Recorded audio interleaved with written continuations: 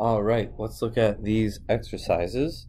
Uh, so for exercise 1A, uh, if you're finding the domain and range of this guy here, remember it's the same as 1 over x, uh, you're not allowed to have x equals 0 in the denominator of a fraction, so the domain is everything other than 0.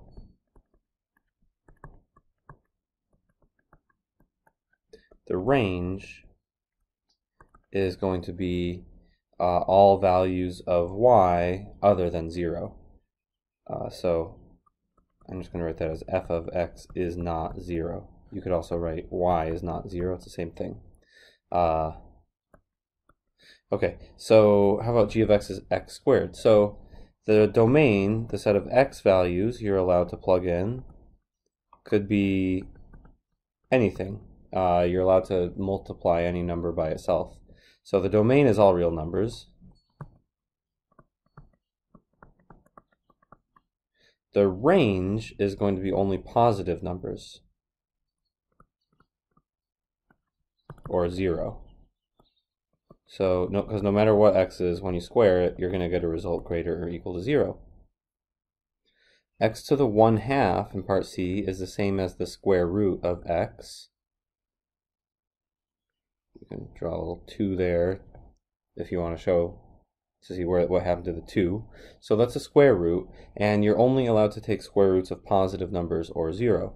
So the domain is x is greater or equal to 0, and the range, you're only going to get positive numbers or 0 out. So the range is h of x is greater or equal to 0 too. Okay, so hopefully you got that. If you did, give yourself a pat on the back. Let's look at exercise two. We're given that the value V of a car that is A years old is given by this formula here. Let's find the domain and range of this. So uh, the trick is that V and A cannot be negative. V can't be negative because that, if V is negative, that means that you have a car that's worth like negative dollars that doesn't really make sense. Um, and A can't be negative because that would be like if it's negative five years old, that would mean five years before it was bought when maybe the car didn't exist yet. So, okay, so, uh, so yeah, so A cannot be negative means that that basically describes the domain. Um,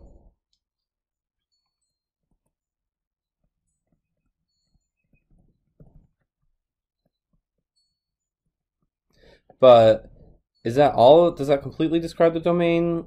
It looks like this is going down.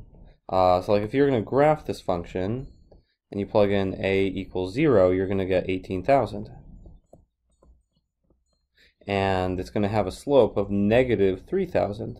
So it's a straight line. And at some point here, it's going to cross uh, and where is that going to happen? Well, if you want to find that a-intercept, we're going to solve this for a. Plug in f of a equals 0 at this point and see what a is.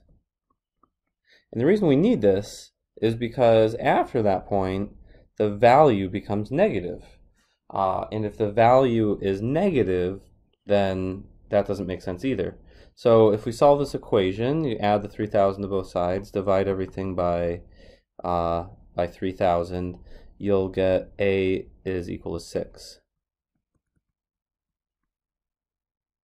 And so that means after uh, year 6, the, the value becomes 0.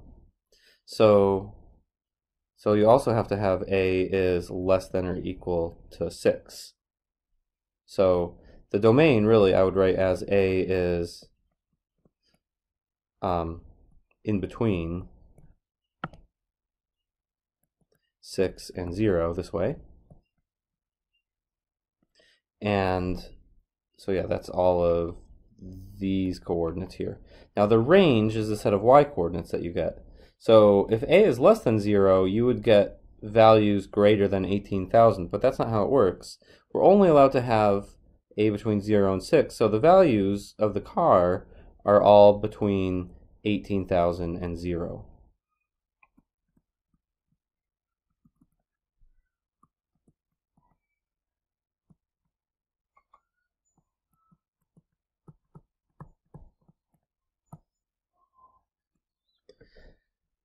So it's kind of a slightly tricky problem. Uh, you might have not noticed that weird thing there, so now you see it. It's a good thing you're checking your answers. Um, anyway, let's look at exercise three. Let's find the domain and range of each of these functions. Uh, so let's see. Uh, 3a you might be able to do by analyzing the structure, knowing that x squared is always positive so this is in the form of 2 minus a positive number. So that will show you that the range is always going to be less than or equal to 2. Um, but then the domain uh, is any real number because you're allowed to square any real number. You could also get this from a graph, and that's fine. Okay, how about this one right here? Um, 100 minus 2 to the power negative uh, x squared. So this is something that you're going to have a hard time analyzing the algebraic structure of it. You might be able to think through it, but I guess it's probably better to go to Desmos here.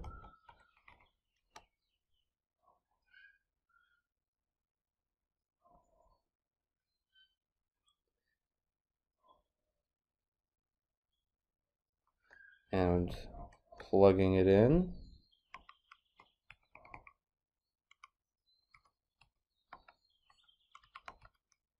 All right, so here is this graph.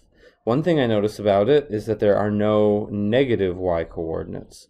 The y coordinates start at zero and go up from there. Uh, now let's see, does it have a maximum y coordinate? It does. You can see that that happens at uh, at x equals 0, you get y is 100. So the range is going to be just the y coordinates 0 to 100. The domain, however, is all real numbers. You're allowed to take any number and square it. That's always fine. Make it negative. That's fine. Um, 2 to any power always works. So all of that stuff is allowed. So